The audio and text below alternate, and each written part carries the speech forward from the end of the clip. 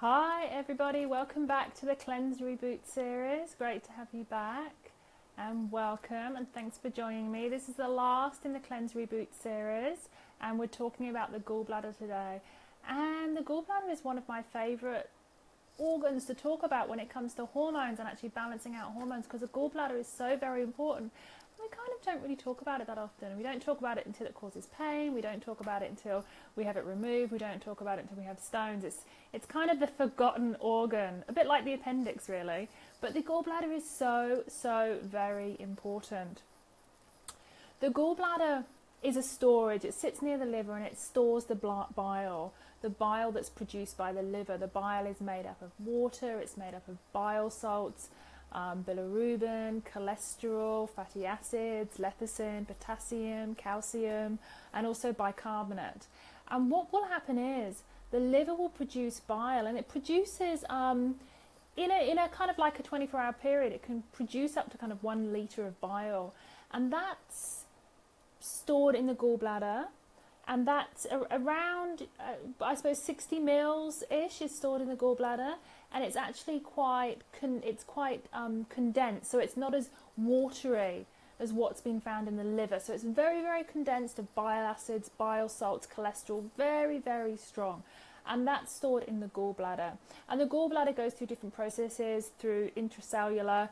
And then what happens is when there's food in the small intestine in the, in the duodenum, it, it lets that bile go. And that bile is there to actually kill off bacteria in the small intestine, excrete toxins via the bowel, and break down fats. So that's it, the bile's main function, but definitely one of the biggest functions is helping to excrete toxins from your digestive tract, killing off bacteria, cleaning things up, and so you can excrete your toxins, your hormones, and everything via your stool.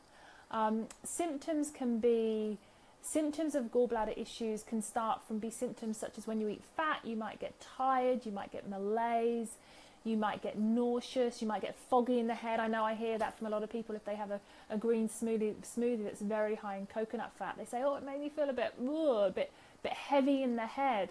And that can just be that the fats aren't getting broken down. The gallbladder, gallbladder is a little bit sluggish. And I'll talk about what sluggish means in a minute. We'll talk about that a little bit more.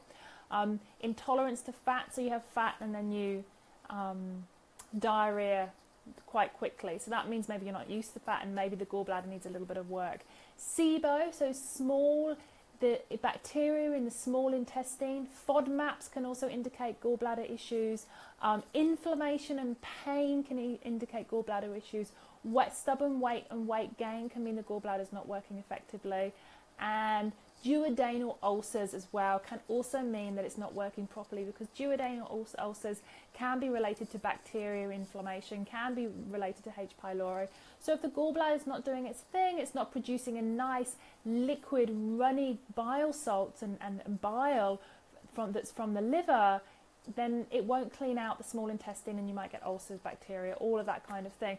So you can see there's a myriad of different symptoms. And then we've got the pain. We've got pain. So a lot of people might get pain um, in the gallbladder area through their front that radiates through to the back. Maybe they get a bit of shoulder pain. That can also mean that the gallbladder is a little bit sluggish. And then some people get stones, and we'll talk about what stones means, and what's happened with stones.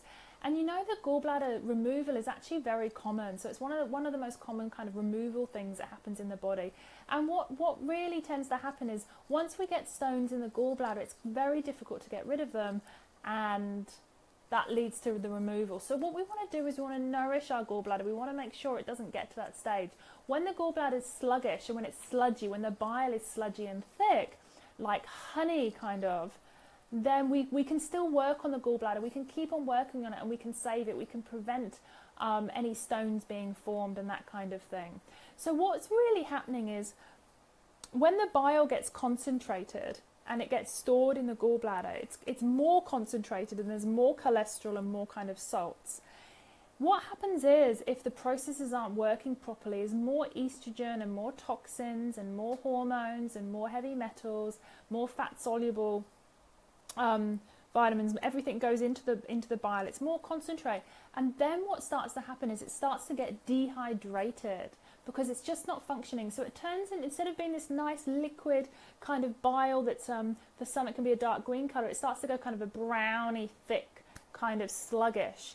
And it sits in the gallbladder and starts to get dehydrated. And that's the precursor to stones. So it gets dehydrated, and then little stones can form, and they can grow into big stones, causing a lot of pain, getting blocked, that kind of thing. So, really, we want to prevent that first. So, I'll just talk about that and preventing gallbladder attacks. Now, the gall, the reason I love talking about the gallbladder is because there's such a strong affinity to the gallbladder and elevated estrogen, so gallbladder and hormones. It's very common that if someone's had a gallbladder issue, you've got hormonal issues as well. It's very common to see gallbladder removal and hysterectomy happen. That can happen, you know, years apart, but it is com- common for women to have both both removed because there is a hormonal implication. Gallbladder also is very, very much connected to methylation, COMT, MTHFR. So, what actually happens is your liver does its thing, your liver starts doing the phase one, the phase two, it starts doing the methylation, it starts doing the COMT, the MTHFR, all of those kind of things, and then it sends what it needs to send. It sends to the bile to the gallbladder and then the bile gets concentrated. Now, if the methylation in the liver isn't working correctly, it's going to be sending many more toxins, much more estrogen into the gallbladder. And this is where the problem starts to happen. This is where the gallbladder bile turns into more of a sludge and it builds up and then it causes estrogen, estrogen dominance and then there aren't the enzymes to break it down. And what happens is, is the gallbladder and the liver then have to work harder. They have to work a lot, lot harder. And with methylation issues and the COMT and the MTHFR, anyone with those conditions, you're low in a number of things. You're low in B vitamins, you're low in methyl donors, you might be low in SAMe, you might be low in particularly choline. Choline is very, very, very important, and it's very likely that if you've got a methylation issue, you're low in choline, particularly the COMT. And so that's why people with a COMT methylation issue get gallbladder and get liver, get fatty liver, because they're so low in this choline. It's this choline that protects us, protects it, works in that kind of methylation cycle. It helps the COMT enzyme to break down estrogen, to break down toxins. So if this process isn't working, what happens is, is the bile that's in the gallbladder gets thicker, gets sludgier, and then slowly it turns into turns into stones. Also, during this process, estrogen will rise. And so you may also get estrogen dominant conditions associated to gallbladder sludge. Estrogen dominant conditions are um, stroke, um, endometriosis, fibroids, weight gain, depression, hypothyroidism, heavy painful periods. Um, all of those things. So you may find you've got gallbladder issues and you've got these estrogen dominant issues because if your gallbladder is not working, the estrogen is just going to continue to rise. And your body can't excrete it. So, what the body is trying to do is when the bile is released from the gallbladder, it should have some estrogen in there, and that's detox via your bowel. Hi, Lisa, how are you? I hope you're well. So, what we want to essentially do is we want to prevent these. And so, there are circumstances where you really want to be working on your gallbladder. So, pregnancy is one of them. Pregnant women tend to have more hormones. And so, really, pregnant women need to be making sure they're nourishing their gallbladder, working on their gallbladder. If you're taking um, any HRT uh, or a contraceptive pill, any synthetic estrogens, if you're taking any of those, you really need to be working on your gallbladder and helping your gallbladder so it doesn't get sludgy and it doesn't get backed up. This will also help support you. And also, if you're doing any fertility support, you need to be focusing on your gallbladder as well and make sure you're nourishing it because then the gallbladder can get rid of any excess hormones and they won't build up and cause difficulty in your system and cause that inflammation and cause those negative side effects that the elevated estrogen can cause. Also, what you need to do is you need to be making sure you're giving the gallbladder the raw materials it needs. So, B vitamins, folate, so methylfolate, an activated form of folate, your activated form of B12, your activated form of B6, giving it choline. Choline is very, very important. So, all of these things, if you need to support your liver and support your gallbladder, you need to be giving your gallbladder these things, and that will just help to emulsify the bile, help to thin it out, and that will help to detoxify, remove these heavy metals, remove the toxins, and remove the hormones from your body. So that is so very important.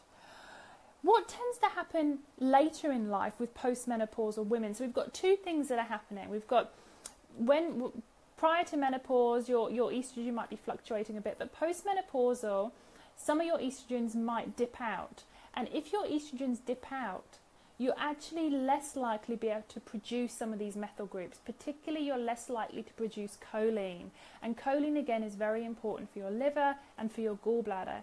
And this is why it's very common in postmenopausal women to get fatty liver, to get weight gain around the abdomen, maybe to have gallbladder attacks maybe even to have to have the gallbladder removed because the choline is so important at nourishing and thinning out the bile. That's really all we want to do here. We want to keep that bile in the gallbladder thin. We don't want it to thicken because as soon as it turns to sludge, that's when you have the problem starting and that's when you can have the gallstones forming. So it's really important that postmenopausal women get your choline. Make sure you may need to supplement with a with a choline supplement, phosphatidylcholine, some kind of a good supplement. You may need to do that, particularly if you've got signs and symptoms of um, memory problems, memory loss, all of that kind of thing, fogginess. Because what the body does when it doesn't get the raw materials externally is it starts to pick you apart internally and get what it needs to get internally. So if you're not supplementing with choline or if you're not getting it in the diet from amino acids or from egg yolk, what your body is going to essentially do is it's going to be going to your protection, the cells, the kind of the cover of the cells, and it's going to be picking it and doing what it needs to do and going through a methylation process. So this is why it's really important that you're getting the raw ingredients either from your diet or from supplementation, particularly if you think you've needed it. And if you've had a lifetime of estrogen dominance and hormonal issues, and then you're going into menopause, you most likely will need to supplement with choline. Most likely you will have to do that.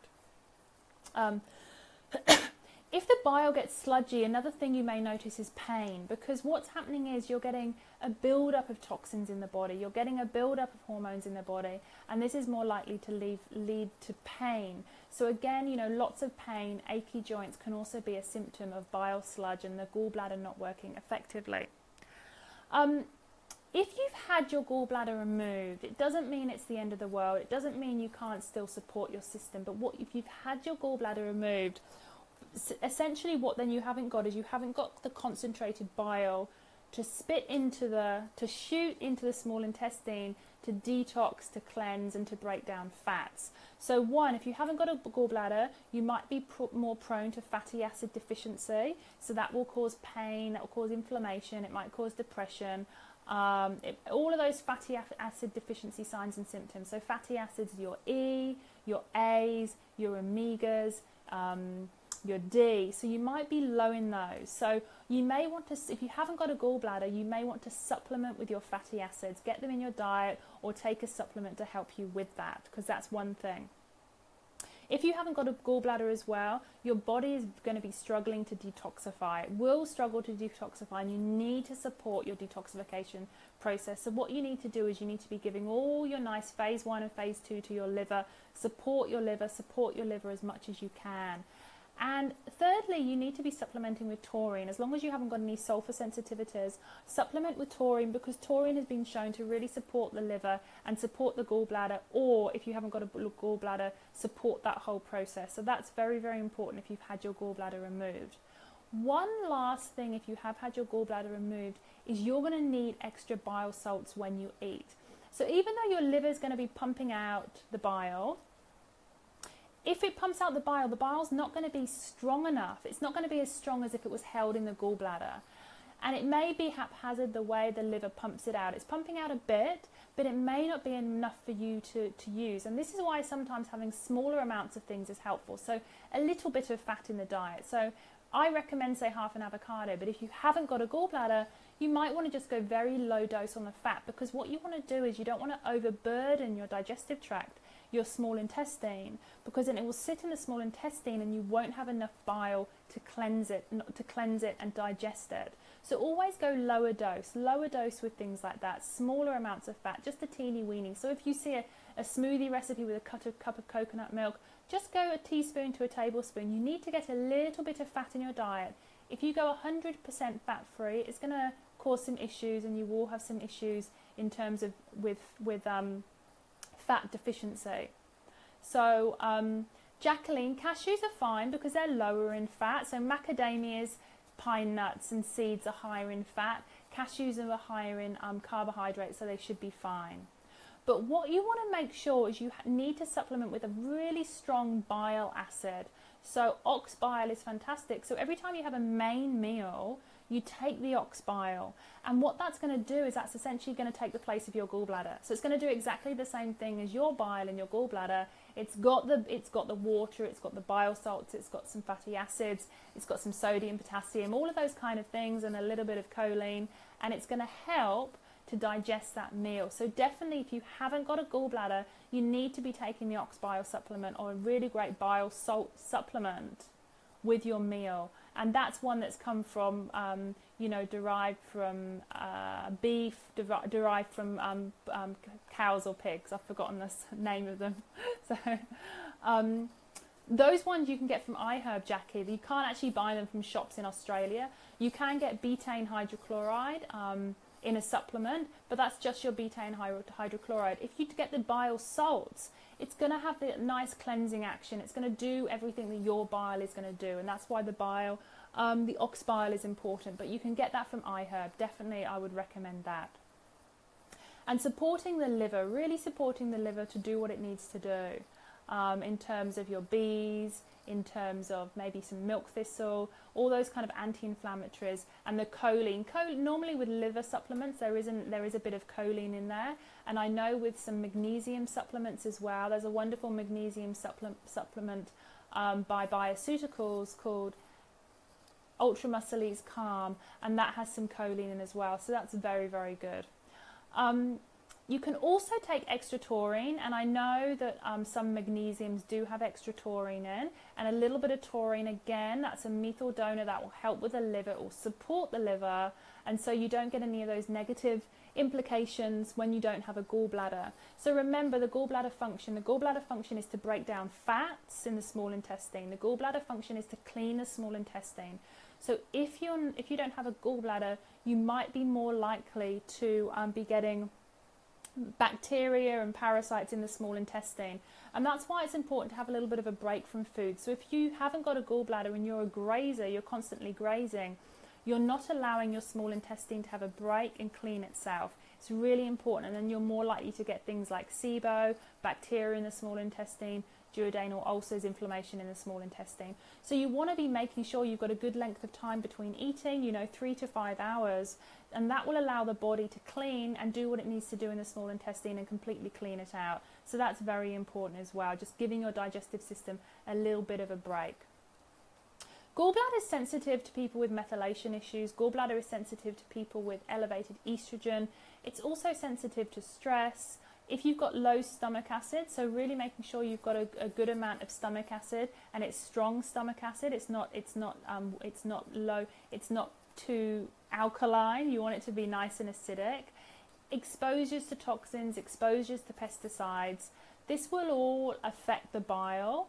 Um, and it will make it thicker. So if you think you've got any exposure that's going to be affecting the liver and the bile, then I would highly recommend you do a light kind of liver gallbladder protocol at the same time and just just to get those working and just to get your bile nice and nice and thin if you've got a gallbladder and you've been getting pain, if you've got a gallbladder and you've been diagnosed with gallbladder sludge, I've got a few clients that come to me and they say they've got gallbladder sludge.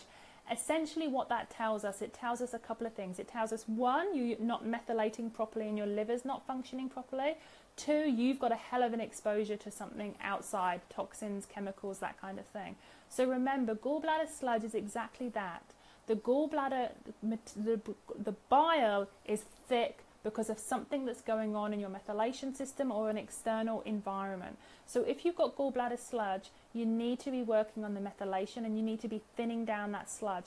It is possible and you can definitely do it and it, I would I would highly recommend it. Anyone with gallbladder issues, it most likely you've got a methylation issue.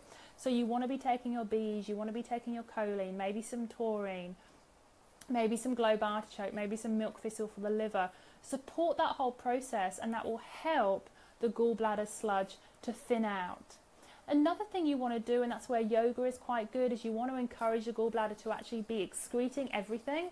You don't want it to just be pushing out a little bit of the sludge. You want to empty that gallbladder. And so that's why when you've got gallbladder sludge, you do want to be having things that encourage the gallbladder to release the, the bile, such as fats, that kind of thing, and see how you feel having that. You want to encourage the gallbladder to do its job and to keep on working so that it doesn't get too sludgy, too dehydrated, and then you get stones. If you're someone that's been diagnosed with a large stone, it's difficult, it is harder. So I would encourage you, instead of focusing on the removal or, or of the stone, because you, surgery is most likely when you've got stones, I would focus on the cause and I would support your body. So if you've got stones, again, it's more likely that you're estrogen dominant, it's more likely that you've got a methylation and a detox issue, and it's more likely your liver's not functioning. So if you've got stones, support your bull gallbladder with ox bile, support it with some globe artichoke, support it with some choline, and support your liver with some bees, and support your liver with um, some nice milk thistle. Really get that going on, and lemon and water. And by doing that, you're, you're supporting both. I'm not saying you will get the size of the stones down, but what I'm saying is if you do have stones, you need to be supporting what the cause can be. It's very, very important. Um, and that's where I go. And again, go super, super low on fat because the fat obviously, um, once the gallbladder pushes the sludge out, and if the stone's big, it can get caught in the duct, and that's what you want to prevent essentially. Um, so, yeah, the gallbladder issues, they can lead to the hormone excess, toxin excess. So, if you haven't got a gallbladder, you do want to be helping your body to be cleansing naturally and removing things.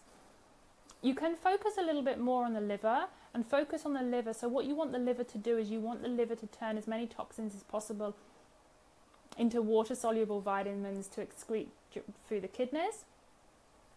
You also want to encourage the liver to break down any larger molecules into smaller molecules, so helping phase one, phase two detoxification.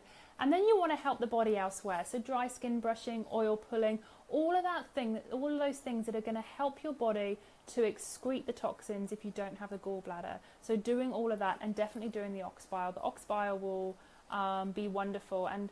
Um, I haven't actually done any research, but one of the things I'm looking at is is having a look at how ox bile might be able to help clean the um, the small intestine out. Watch, I, I haven't researched it enough and I will, but having a look at okay, if we haven't got our own bile, how can we use ox bile to actually detoxify? So that's something I'm looking at at the moment. So I'll share that with you. You might be interested in that, Jackie. So I'll, I'll share my findings with you there.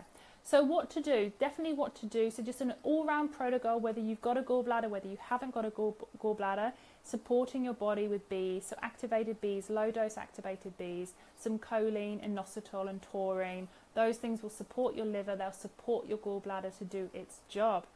Um, magnesium, and some magnesiums do have taurine. Globe artichoke is one is wonderful as well, and I suspect the reason globe artichoke works so well is because it's actually high in choline, and we know how good choline is for the liver and gallbladder.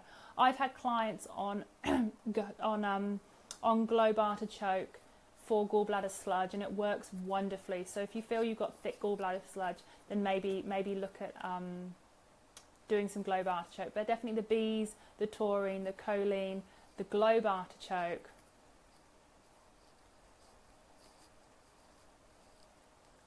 um, using those definitely. Some people like to use SAMe if you're low in SAMe um, because SAMe and East, SAMe has a, an affinity to um, to the methyl cycle, so you can see how you go. But definitely just start off with the taurine, and the choline. Hi, Riel. I can't find what can I use for dry skin brushing if I don't have the proper brush. Look, I mean, I can definitely, if you don't have a brush, if you don't have a natural bristled skin brush, then I would actually just do some light. It's all about just um, getting to the lymphatic system. So the lymphatic system sits very close to the skin just here.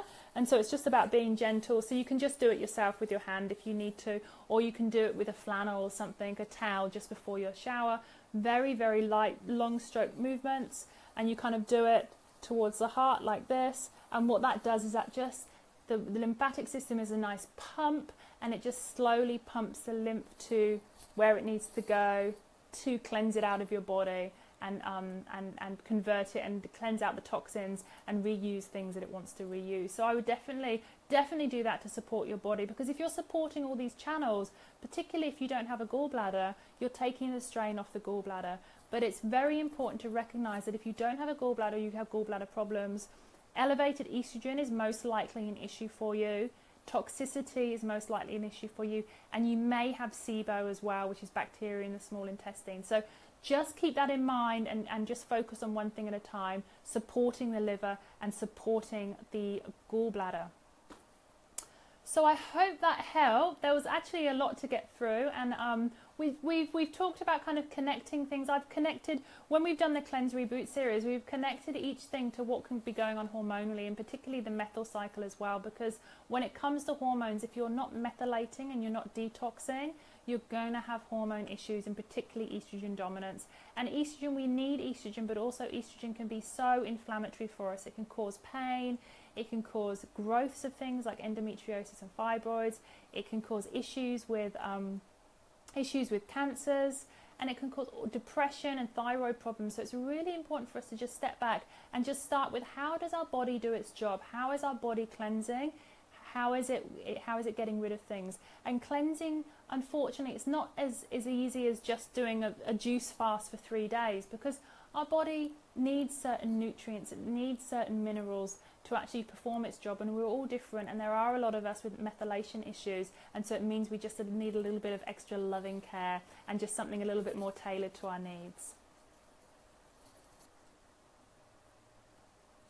So um, Raoul, if you don't have um, a gallbladder, it's okay to eat fat. So as long as you're not having any negative, negative um, kind of issues with eating fat. So what I would suggest is what you want to do.